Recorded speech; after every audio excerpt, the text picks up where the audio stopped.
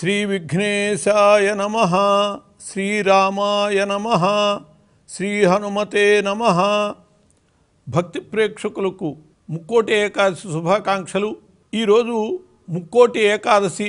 ఈ పవిత్రమైనటువంటి రోజున ముక్కోటి దేవతలు కూడా వైకుంఠ ద్వారము దగ్గర చేరి ఆ వైకుంఠవాసి అయినటువంటి శ్రీ మహావిష్ణువుని సేవిస్తారు అని చెప్పి అందువల్ల ఈరోజు ముక్కోటి ఏకాదశిగా చెప్పబడ్డది. ముక్కోటి దేవతలు విష్ణువుని సందర్శించేటటువంటి రోజు కాబట్టి.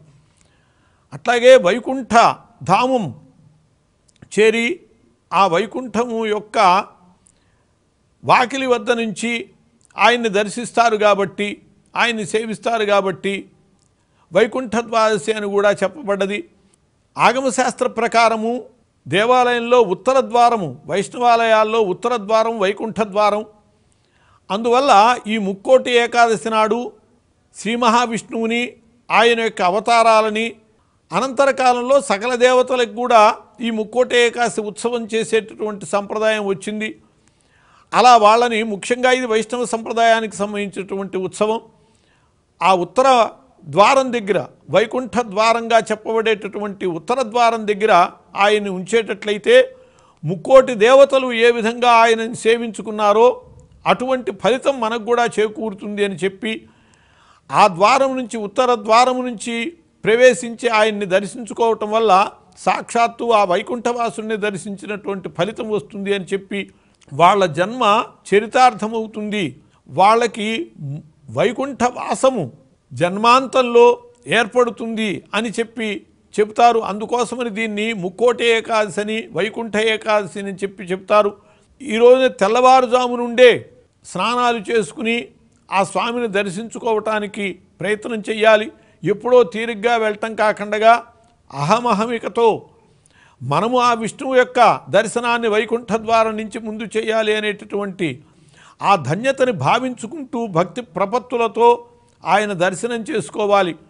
ఇది సహజంగా భక్తులకు కొంత సందేహం వస్తూ ఉంటుంది. ఇంత క్రితము మార్గశిర మాసంలో వచ్చిందండి ముక్కోట ఏకాశి. ఇప్పుడు పుష్యమాసంలో వచ్చింది ఏమిటి? ఈ విధంగా మార్గశిరంలో పుష్యంలో రెండు మాసాల్లో ముక్కోట ఏకాశి రావటాన్ని గురించి తెలియక ఆందోళన పడుతూ ఉంటారు సందేహిస్తూ ఉంటారు. దానికి కారణం ఏమిటంటే ధనుస్సంక్రమణం జరిగాక వచ్చేటటువంటి శుక్ల ఏకాదశి శుద్ధ ఏకాదశి ఏదైతే ఉన్నదో అది ముక్కోటి ఏకాదశి అవుతుంది. ఇంత క్రితం వెళ్ళినటువంటి పదహారవ తేదీ మార్గశ్ర మాసంలో ధను సంక్రమణం జరిగింది. ఆ తర్వాత వచ్చినటువంటిది ఇదే కాబట్టి ధను సంక్రమణానంతరం వచ్చినటువంటి శుద్ధ ఏకాదశి కాబట్టి పుష్యమాసంలోకి ఈ ముక్కోటి ఏకాదశి ఈ సంవత్సరం రావటం జరిగింది. అలా ధనుర్ సంక్రమణానంతరం వచ్చేటటువంటిది ముఖ్యంగా దక్షిణాయనము కంటే ఉత్తరాయణము శ్రేష్టమైనది. ఈ ముక్కోటి ఏకాదశి సమయానికి ఉత్తరాయణ కాలం సమీపిస్తూ ఉంటుంది. ఉత్తరాయణము పుణ్యకాలంగా చెప్పబడుతుంది. శ్రీమన్నారాయణుని యొక్క అనుగ్రహానికి అలాగే సూర్యనారాయణుని యొక్క అనుగ్రహానికి పాత్రమయ్యేటటువంటి కాలం అది. సూర్యభగవానుడు అంత క్రితం ఉన్నటువంటి దక్షిణాయనము నుంచి ఉత్తరాయణానికి వస్తూ తన ప్రభలని విశేషంగా చూపిస్తాడు. ఆరోగ్యం భాస్కరాదిచ్చేతని చెప్పి ఆ సూర్యకాంతి ఎంత దాకా పడుతుందో అక్కడ రోగక్రిములు ఉండవు.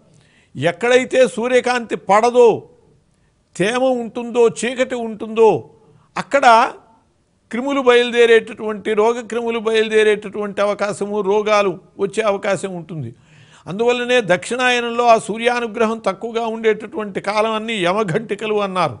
ఉత్తరాయణం వచ్చేటప్పటికి ఆ సూర్యనారాయణ యొక్క అనుగ్రహం వల్ల కూడా ఆ ఉత్తర దిక్కుకి ఆయన యొక్క ప్రసారము జరిగి అటువంటి పరిస్థితుల్లో ఆ ఉత్తరముఖ ద్వారము గుండా ఆ భగవంతుణ్ణి కనుక దర్శించేటట్లయితే ఉత్తర గతులకి కూడా అది హేతు అవుతుంది అని చెప్పి చెబుతారు.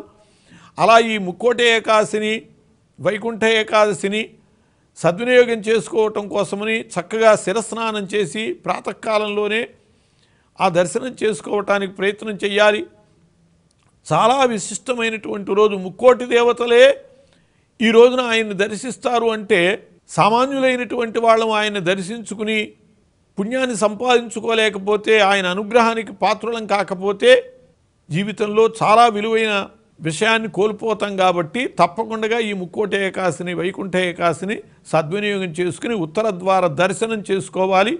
స్వస్తి.